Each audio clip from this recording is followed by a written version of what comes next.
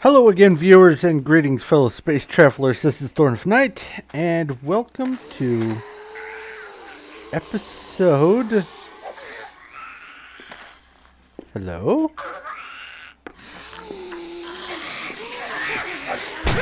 Ow. Episode 6 of Seven Days to Die. And I've got friends.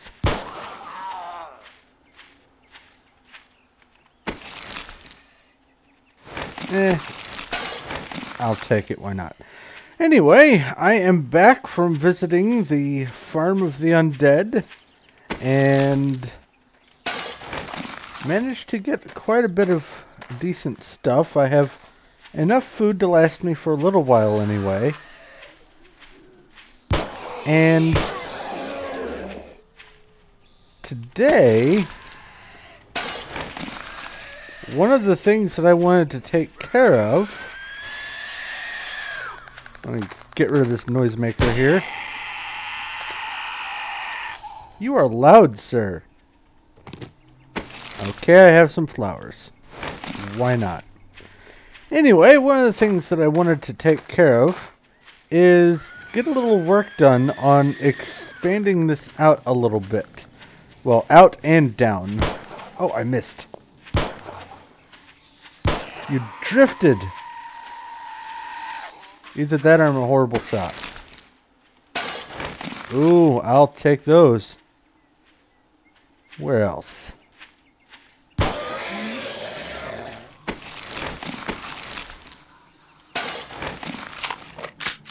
Anyway, now that I think everything is taken care of, I guess a wave spawned around here something. Uh-oh. No. In the face. Come on, aim for the head. Go for the eyes. Books. Alright. Now is that everyone? Except the deer? Nope, there's still one here.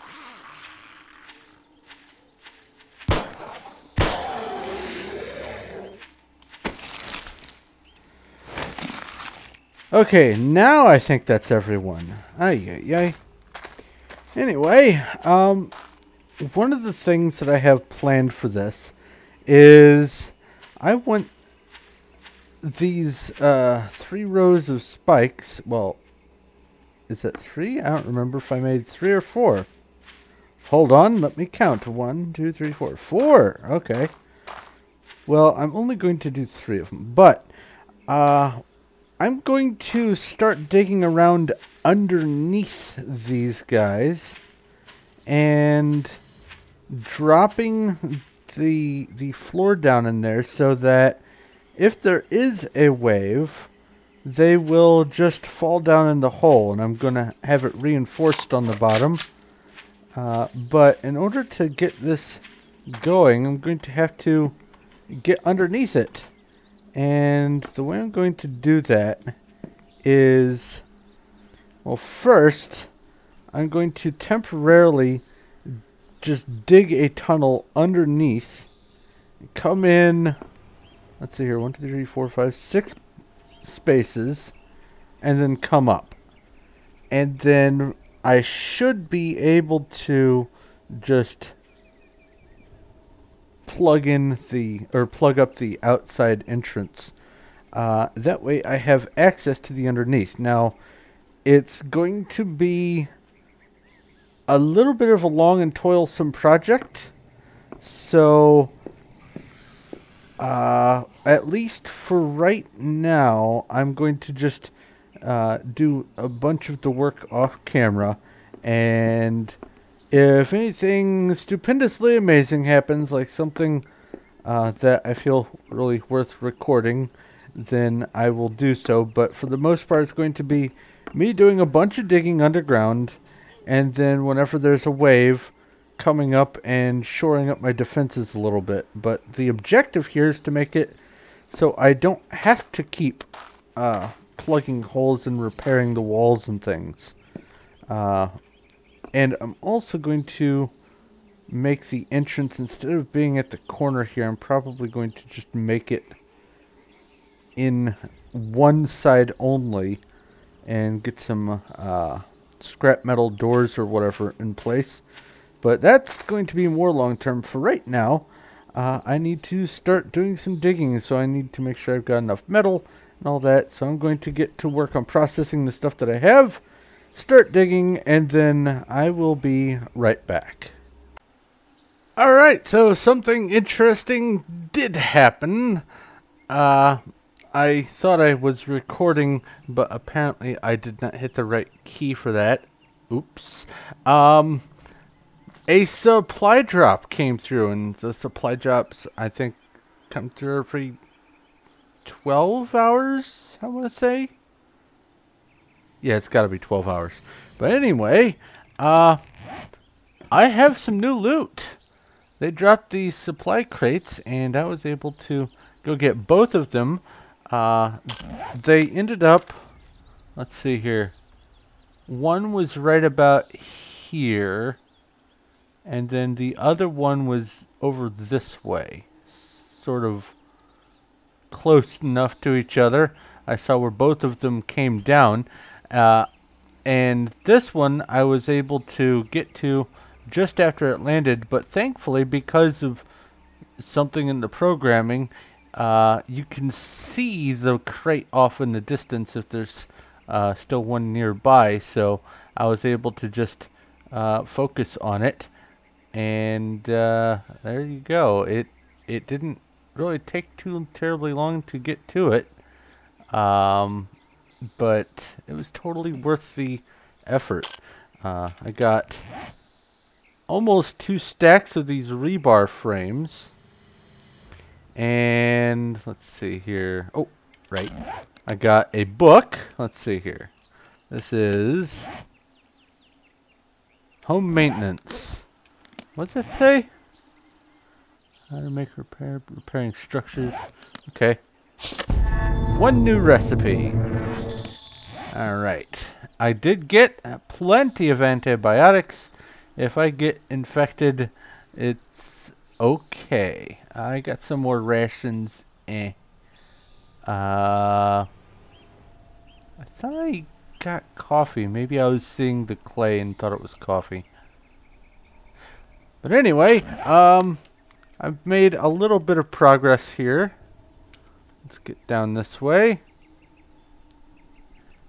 Not much, just some just going under the outermost three, and then I will uh, reinforce the the the inside one uh, farther down with probably I don't know concrete or something. I'll figure it out. But uh, basically, I'm going to be just digging this trough underneath, and then I will probably go down. I don't know, 20 that sounds good. 20 down. And then from there, I will be able to, uh, by way of a little access shaft I'm going to put here, I'll have access to the lower part. And the way I will be getting out, um, aside from the, the main door over there, is it over there? Yeah, over there. I will be having an escape tunnel probably going down to the river area because uh, this is a big enough hill. I'm, I'm up high enough that if I dig down and come through uh, I, I should end out on the side of the hill there. Um, now the escape shaft is going to probably be uh, well come to think of it I might want to have, if the river is over that way, I might want to have the, the door in and out of here there, and then I will have the escape shaft underneath. That way, anything that uh, does come in this way won't fall down onto the, the ceiling of the escape tunnel, because that's going to be halfway down the wall, and uh, I don't want things getting on there and tearing that up. But I've had no incidences so far of anything getting in. I had a wave come from over there. Nothing too terribly uh, huge to deal with, but if they do come in, worst case scenario, I can just block this up with dirt and uh, be able to defend from there. And if I do manage to die, my spawn point is over there, so I should be fine. But anyway, I just wanted to let you know about the supplies. I'm going to get back to digging and fighting off zombies as they appear. It's kind of quiet right now. I cleared out the area a bit. Uh, but uh, I will talk to you in just a bit. Alright, it has become evident to me that I need to actually barricade some of this. So what I've done is all the way around the outside of this pit, dear, uh, I have put a two tall stack of dirt and then on top of that I'm going to put some of that rebar. I missed. Aw, oh, really? Eh, come on.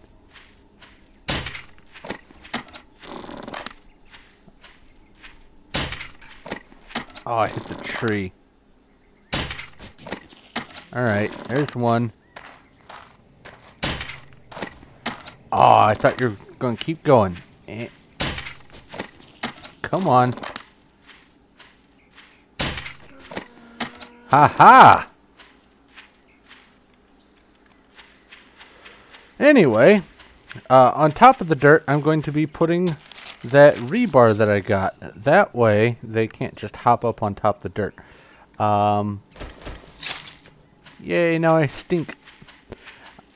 The reason why I'm not just making the wall out of the rebar, all, like entirely, is because uh, the zombies will just outright climb the rebar, which is unfortunate, but that's the mechanic.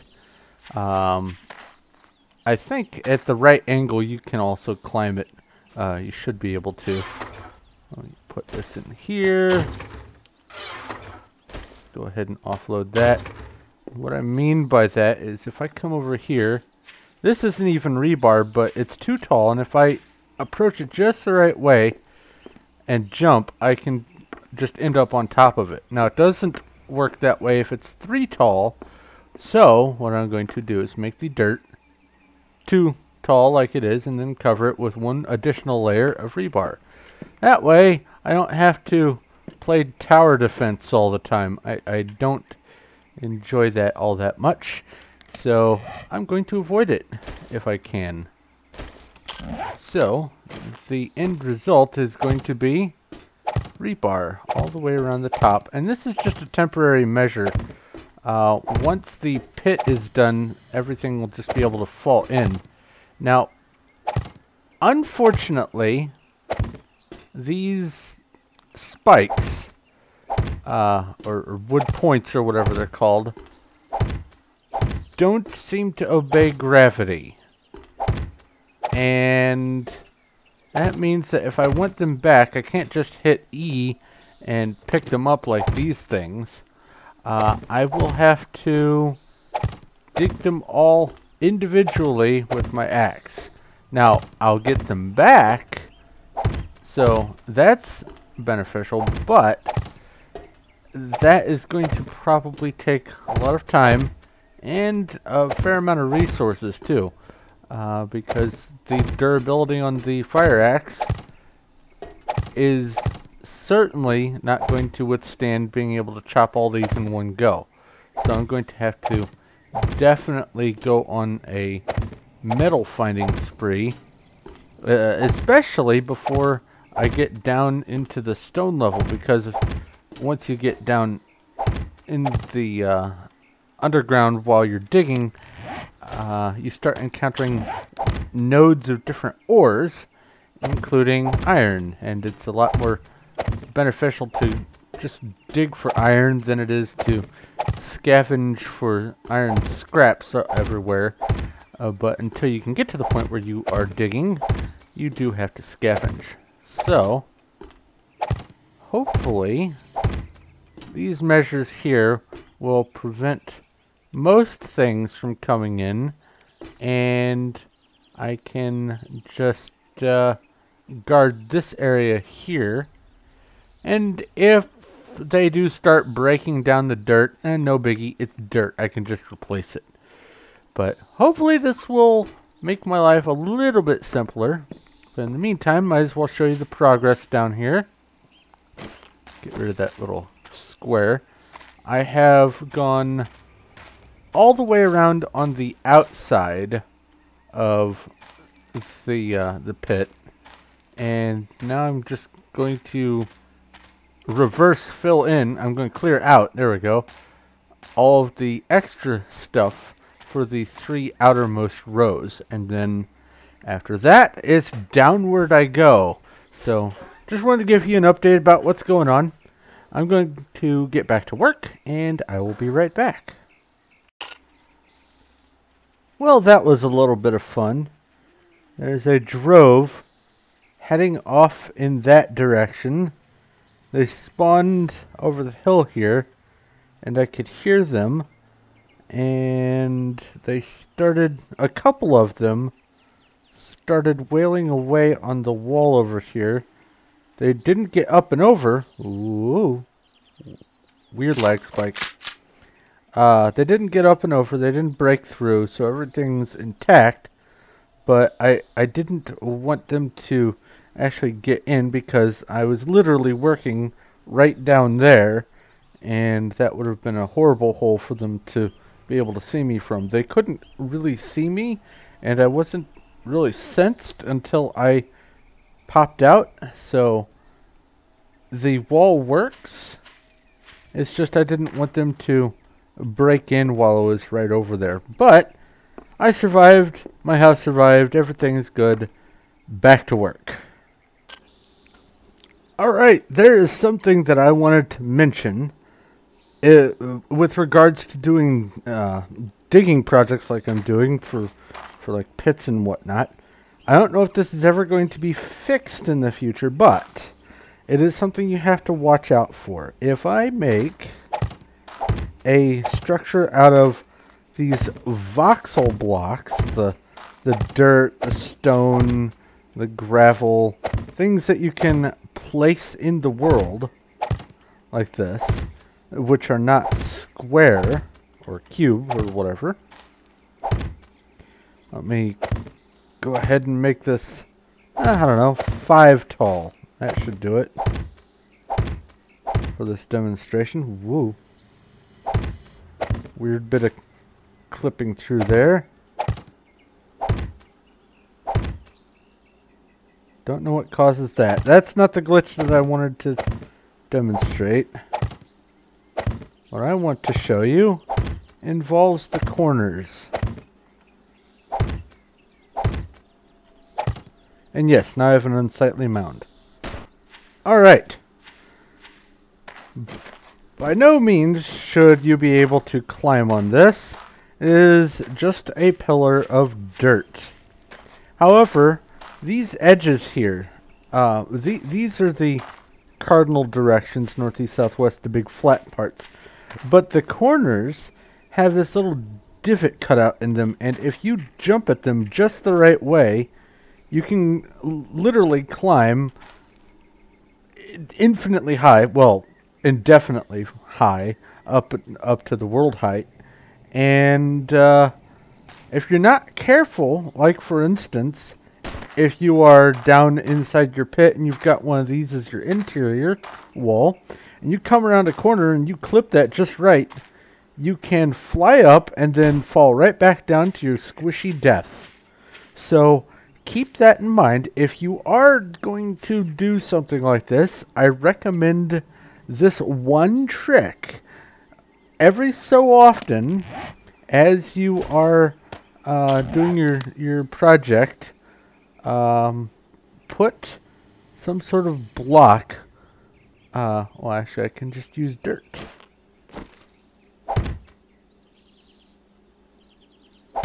Like so whoops to prevent you from actually flying up the corner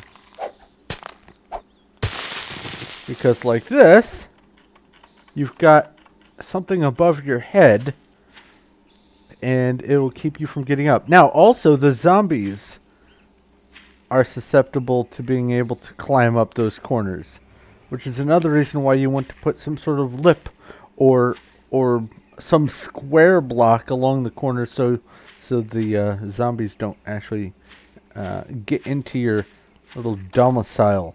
So it's a neat trick, and you can use it as a, I guess a uh, for now anyway, a temporary means of escape if you get stuck in a hole or something. Uh, or if you're working on a project like mine you need to get out real quick. But it is a little finicky. You have to hit it just right, and if you aren't careful, you will fall to your death. But anyway, I'm going to get back to work again. Nothing has spawned for a while. I'm very thankful. No hordes, no waves, nothing like that. So I'm relatively alone. But uh, that, that can change in an instant because I don't know what the spawn rate is, what the the times for the waves and all that kind of stuff. Anyway, I'm going to get back to work. I just wanted to show you that little corner clipping thing. And I will be right back. One other nice tip uh, that will come in handy later on when you're digging, if you hold down the button, you will continuously dig. And as you do this, your stamina will deteriorate. You can see in the the dark blue and or uh, at the bottom right of the mini map. If I just hold the mouse button down, the amount of blue diminishes, and once it gets down below a certain point, uh, it will affect how well you can use your tools. Uh, so once it drops below 60, 60% uh, on the damage, which, uh, let's see here, you can see right there next to the condition of the shovel. Once the percentage here gets down below 60, so 59 and below, it starts taking more hits to do uh, something with the tool. So a way around that is to just dig once every few moments and this does two things. One, makes it so the durability, or, or rather your, your stamina uh, lasts longer. Uh, doesn't affect the durability of the tool at all. But another thing that it does is it gives you an opportunity while you're doing a, a digging project like this to listen to your surroundings between digs. But I'm going to go ahead and show you what it looks like when I get down to 50 something percent. Hopefully I won't get assailed while I'm down here. So right now it takes three digs in order to dig out one of these dirt or and uh, I think it's two for gravel, uh, probably three for snow dirt. Actually, I don't know. I think it's three. But you can you can see the percentage going down. Now it's 85%.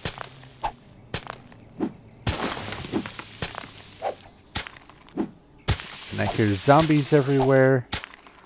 Now it's getting down to 70s.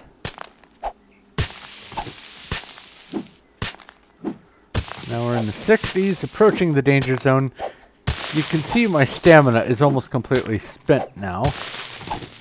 And now I'm in the 50s. That dirt took four. One, two, oh wait. One, two, three, four. And you also sigh when your stamina completely runs out.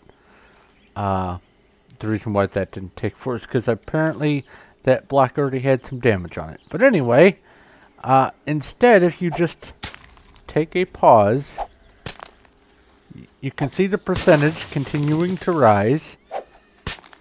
And you can hear in your environment a little bit better. Uh, that way you know, like for instance, if there's a horde of shuffling feet coming.